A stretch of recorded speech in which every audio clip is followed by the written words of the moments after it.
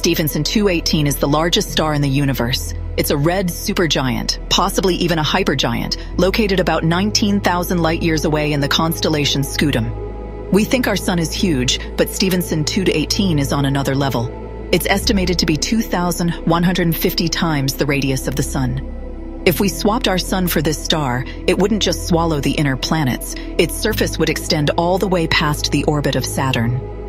Our entire central solar system would be inside the star, it blazes with the brightness of 440,000 suns, yet its surface is relatively cool, giving it that deep red glow. It's worth noting that measuring stars this far away is incredibly difficult. Some uncertainty exists, and it might be slightly smaller, but it remains a true cosmic titan. Stars this massive live fast and die young.